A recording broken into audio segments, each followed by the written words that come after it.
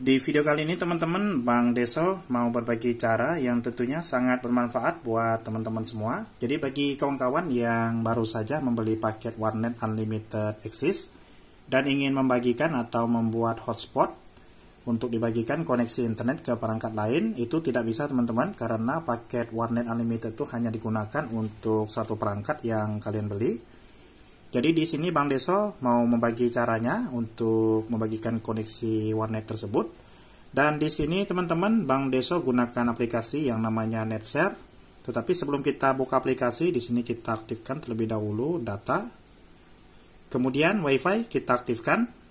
Selanjutnya kita coba buka Chrome dan di sini kita coba cari pencarian untuk mengetes koneksi internet. Nah, ini teman-teman sudah jalan.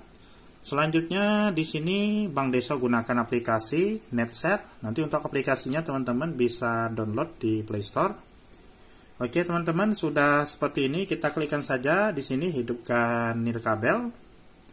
Nah, ini sudah hidup seperti ini. Kemudian di handphone yang satunya lagi kita koneksikan WiFi extender dari handphone sebelah kiri. Oke, teman-teman kita on-kan WiFi. Dan di sini Direct NS Hotspot yang ini kita klik. Kemudian kita masukkan sandi yang ada di sini.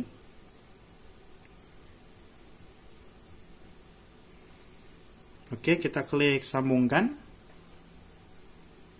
Nah, ini teman-teman sudah tersambung, tidak ada internet. Kita coba untuk browsing apakah bisa atau tidak.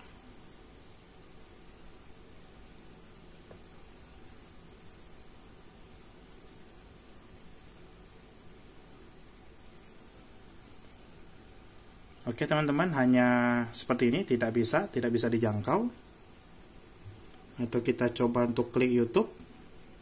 Nah ini tidak akan bisa teman-teman.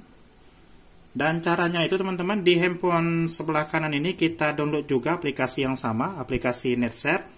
Ini sudah Bang Deso download NetShare.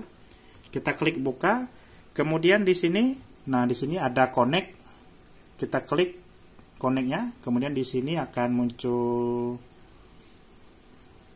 Nah, seperti ini. Nah, di sini sudah terhubung jika ada tulisan disconnect.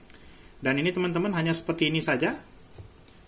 Oke, kita coba buka Chrome yang tadinya tidak bisa dibuka, teman-teman. Browser. Nah, ini sudah bisa kita buka.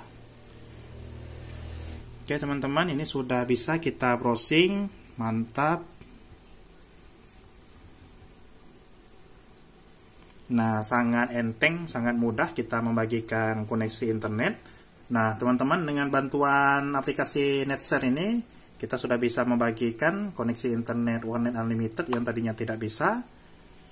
Kita bagikan, dan ini sudah bisa kita bagikan ke semua perangkat, dan tentunya harus menggunakan aplikasi NetShare di perangkat-perangkat yang lain. Oke teman-teman, jika kalian punya pertanyaan, tulis di kolom komentar. Eh, sekian dan jumpa lagi pada video-video tutorial yang selanjutnya.